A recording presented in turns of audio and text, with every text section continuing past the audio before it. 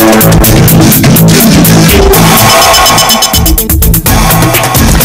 بالتأكيد النادي الأهلي بفوزه على فريق رونالدو أدخل الكثير من الفرحة على قلوب المصريين أهلاوية بقى زملكاوية بيشجعوا الإسماعيلي كان كله بيتابع النادي الأهلي. الشهر دوت يمكن عندنا أكتر من موعد عندنا لسه مباراة المنتخب القومي إن شاء الله. عندنا أيضا العديد من الأنشطة الرياضية خلال هذا الشهر لكن اللافت للنظر هو أو المطوشه سواء نهائي كأس مصر مباراة الأهلي وإن شاء الله مباراة المنتخب تمت بحضور الجماهير. الجماهير كانت على أعلى مستوى من التشجيع من الاحترام من اللياقه كان في البعض بس إعلام ليزر شوية شوية شماريخ بس ديت. ما تنفعش من المباريات سلوك الجماهير والألتراس والجماهير اللي كانت موجودة بالتأكيد إدى انطباع إن إن شاء الله يعود النشاط الرياضي في مصر بحضور الجماهير مرة أخرى. الحوار بتاعنا هذا الصباح كل حواراتنا هيظل مع الساحرة المستديرة في مضمار المستطيل الأخضر مع الأستاذ عصام الحسن رئيس تحرير جريده الهدف. صباح الخير يا أستاذ عصام. صباح الخير. يا أستاذ عصام. خلينا الأول نبدأ بداية عام شايف إنه يعني في فعلا بشرى إن النشاط الرياضي يعني في تمهيد واضح خلال الأسبوع اللي فات بعد المباريات؟ الحمد لله. عدت بسلام بحضور الجمهور. لعوده النشاط الرياضي بقى لكامل نشاطه؟ بإذن الله. يعني أنا شايف إن مباراة الزمالك في الكاس ومباراة الأهلي في بطولة أفريقيا أو بطولة رابطة الأبطال الأفريقية حققت مكاسب كثيره جدا. بغض النظر بقى إن إحنا آه بنقول إن النشاط الرياضي يعني إن شاء الله هيرجع بإذن الله كاملا في خلال أسبوع أو أول ديسمبر. أنا شايف إن في آه بشره خير في الناحية الأمنية من الناحية الإعلامية من الناحية الجماهيرية. يعني مكاسب حقيقية أنا شايفها آه أحرزناها في الماتشين دول. وأتمنى إن مواصلة المكاسب دي في مباراة غانا يوم 19 إن شاء الله لأن دي هتكون محور رئيسي جدا قدام العالم كله. طبعا. لأن كل الناس مستنية رد الفعل للماتش ده. بغض النظر عن النتيجة. لا النتيجة إحنا ما عندناش أمل عليها طبعا. لا هي في قلب أنا ما طبعا آه إحنا بنقول الأغلبية كده. أو أو أو المنظور بتاعنا. إحنا كلنا فعلا الفرص بتاعتنا ضئيلة جدا. لا هو كلام منطقي وعقلاني آه. يعني لازم نقول على أرض الواقع فعلا إن الفرص ضئيلة جدا جدا جدا. ولكن وليه لأ؟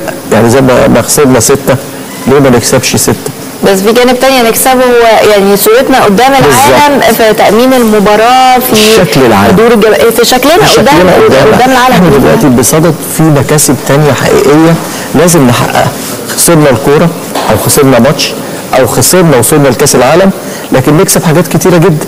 يعني إحنا نتمنى إن إحنا نكسب من الماتش ده استقرار جماهيري واضح على مستوى مصر قدام العالم استقرار أمني في الماتش ده قدام العالم استقرار سياحي. لأنك أنت لما بتحققي قدام الناس دي كلها إن في أمن وفي جمهور وفي رياضة ده هيدي طمأنينة جدا. للسائحين في مختلف البلدان العالم. وكالات الأنباء اللي هتنقل الماتش لأن ده في تصفيات كأس العالم على مستوى القارة الأفريقية. فهو ماتش مرتقب بيحظى باهتمام جماهيري وإعلامي من مختلف بلدان العالم. فإحنا عايزين نستخدمه بصورة مثالية جدا تنعكس على النواحي المختلفة في حياتنا. هو بالتالي يعني محور حديث حضرتك كده أو لب النقاش اللي هي ارتفاع الروح المعنوية. يعني هل ارتفاع الروح المعنوية هيدي دفعة لمباراة المنتخب من وجهة نظر حضرتك؟ أنا اتمنى. أتمنى آه انتصار الأهلي في بطولة رابطة الأبطال الأفريقية واحرازه اللقب لثامن مرة على آه في تاريخه إنه يكون دافع للعيبة لأن أنت عارف إن المنتخب الوطني معظمه من الأهلي والزمالك وبما إن الزمالك خد الكاس بعد غياب طويل وارتفعت معنويات جمهوره ولاعيبته وإدارته وفي نفس الوقت نفس الشيء بالنسبة للاعيبه النادي الأهلي وجمهوره إن بتتضافر الجهود دي والمكاسب دي في إن إحنا تنعكس علينا في ماتش المنتخب مع غانا. حاجة الحاجة الثانية هرجع وأقول لك إن لو ما قدرناش نوصل لنهايات كأس العالم عايزين نوصل لمرحلة استقرار على مختلف النواحي الأمنية والجماهيرية والإعلامية بشكل أفضل من اللي كنا عليه خلال السنتين ثلاثة وأكيد يعني آه انتظارنا للي هيقدمه اللاعبين في المباراة دي كعوض عن مباراة مصر وغانا الأولى. آه حتى يعني لو خرجنا مهزومين على الأقل يعني تكون الهزيمه لا مش. مش. لا إحنا مش هنقبل الهزيمة في الماتش الثاني لكن نقبل الخروج بصورة مشرفة. نظيفة. شايف إن دي حاجة مش لا شبه لا, مستحيلة. لا لا إحنا نحقق فوز ممكن نكسب واحد اثنين ثلاثة يعني إحنا هنخرج مثلا يبقى نخرج بشرف. ما نتهزمش في الماتشين. إحنا كده سلمنا الأرض الواقع. شكلنا وحش قوي آه يبقى شكلنا وحش مش كده؟ فاحنا نتمنى إن إحنا نفوز في الماتش الثاني حتى ولو كانت. النتيجة النهائية في محصلة الماتشين إن إحنا نخرج بشرف.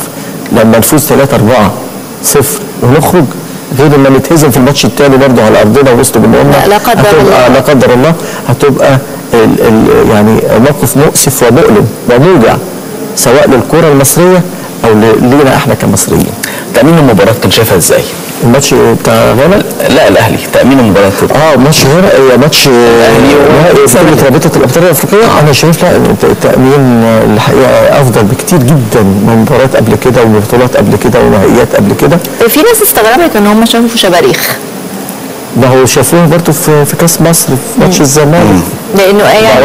اللي كان معروف انه إنه هيتم التأمين إنه عدم دخول حتى شماريخ المباراة.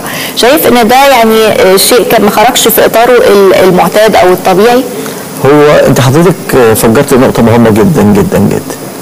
هو مفروض بل من المفترض ان ما يكونش فيه لا صواريخ ولا ما شماريخ ولا الكلام ده وان. يكون في مراحل تأمينية مختلفة لغاية ما توصلي للمدرج. يعني التفتيش بيجي في أكتر من نقطة قبل ما تخش الاستاد بحيث إن ما يكونش فيه صواريخ وشماريخ بحيث إن يكون الدنيا أهدى بكتير من كده. وده اللي إحنا طالبينه وده اللي إحنا بنسعى إليه خلال السنوات السابقة دي. ولكن حجم ال- ال- ال- اللي حصل أقل بكتير قوي من اللي حصل في السنوات السابقة. يعني آه قللنا إحنا مش هنقدر آه، نقضي على الظاهرة تماما من أول مرة. أو من تاني مرة أو من تالت مرة. بس خلينا نقول إن في مؤشر إيجابي عشان ما نبقاش الدنيا آه، يعني ضباب كلها كده.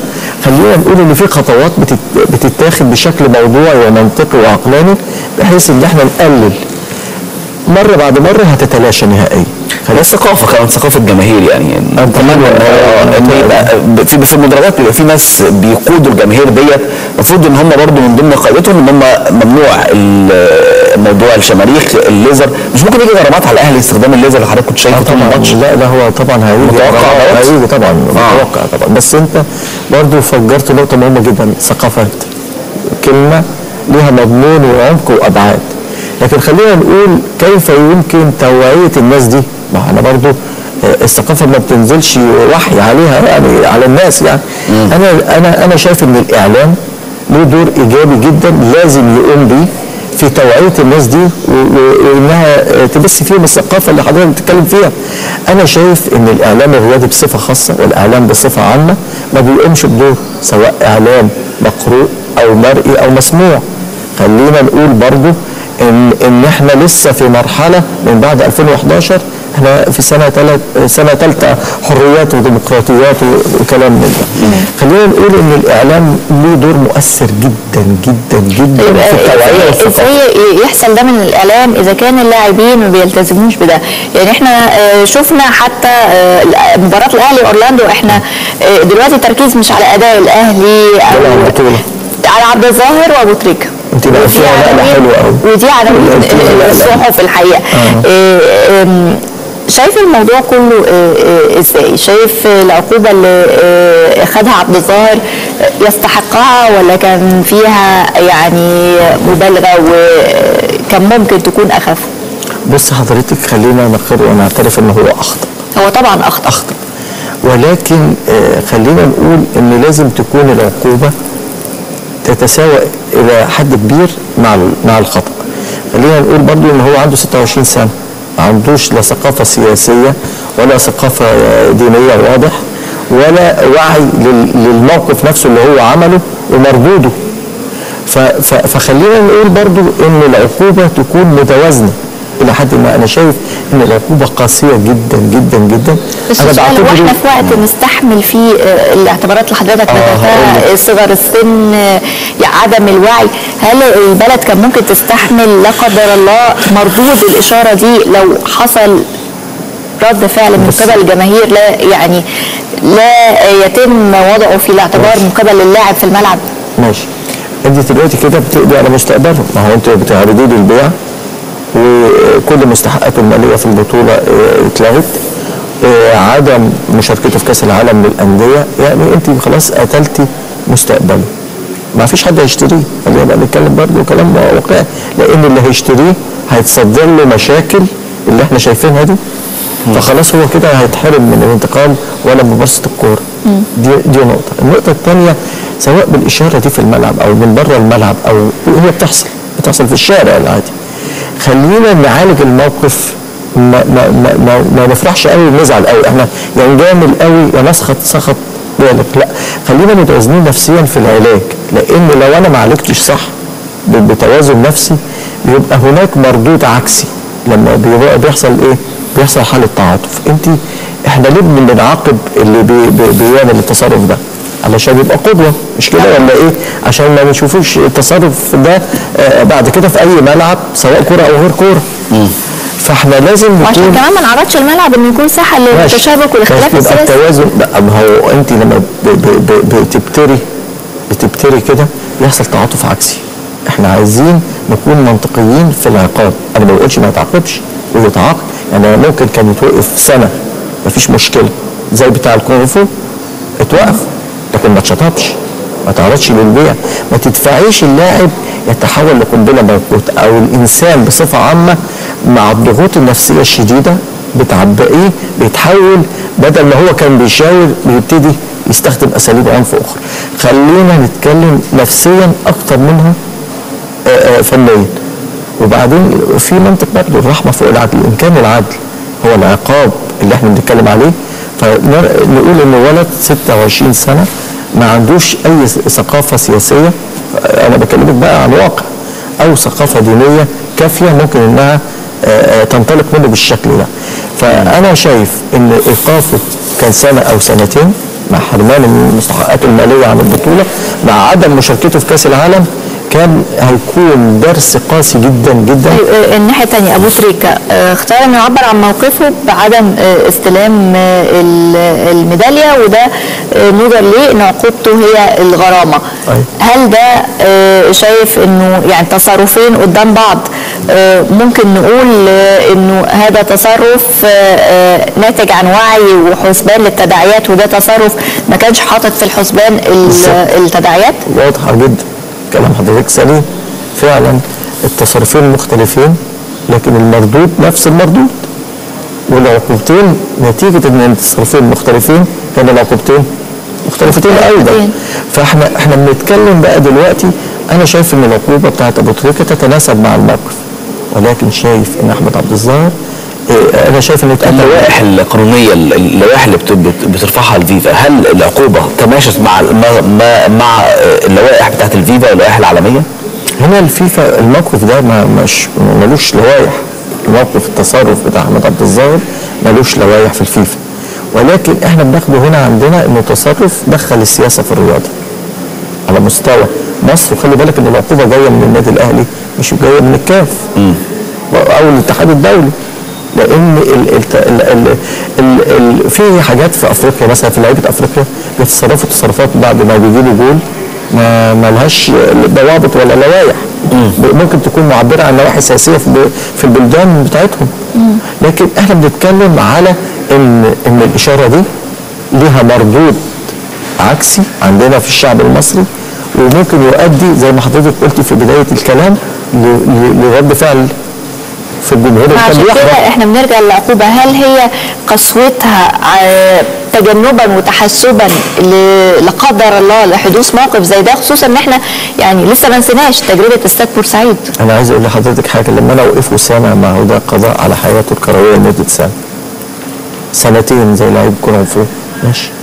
لكن عرضه للبيع ما حدش هيشتريه. تخيلي ممكن واحد أو نادي يشتريه لعيب آه، بدل منه التصرف ده. كنا آه، بالراحة شوية علشان المصلحة العامة آه، لل- للحالة النفسية. مش عايز أحوله لقنبله موقوته مش عايز حد تفتكر تفتكر النوعية دي من المواقف من اللاعبين سواء الموقف زي اللي خده أبو تريكة أو عبد الظاهر. آه، هيتكرر تاني؟ وارد. وارد يكرر. آه بصي طب لو كنا قلت لك مش عايز أبالغ.